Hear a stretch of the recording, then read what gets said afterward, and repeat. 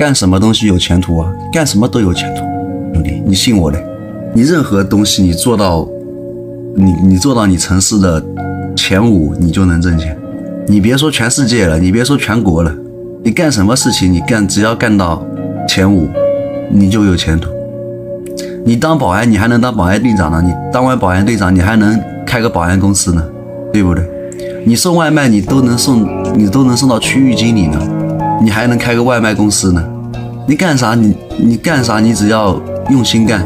你修车，那龙哥以前就是修车的，就那个龙哥 PCRC 的会员，你们都见过的那个龙哥，以前就是修车的。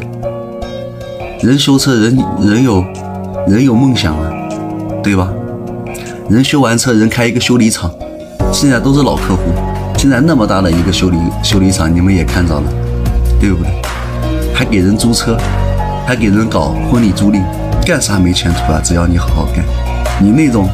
你送外卖送两个月，哎，送外卖送外卖没前途，咋不送外卖了？咋换个工作？去当销售当两个月，哎，咋不干销售了？咋换个工作？没前途。干啥干两个月？哎呀，这东西没前途，那换一个。你那种你干啥你都没前途，对不对？哪能让你你你你干嘛就给你当最大的，给你当最好的，对吧？那我播户外也不也不是从一千贵宾席。慢慢播上来的，本来就那周哥以前不也是？周哥第一辆车是什么车？宝马叉五。那现在不也开法拉利 SF 九？这就是站在风口上的猪，知道吧？就像你，如果说你十年前你做微商，那你也挣钱了，你就能起飞。这是跟着踩踩到了时代的红利。我觉得最怕的就是对生活失去那种希望。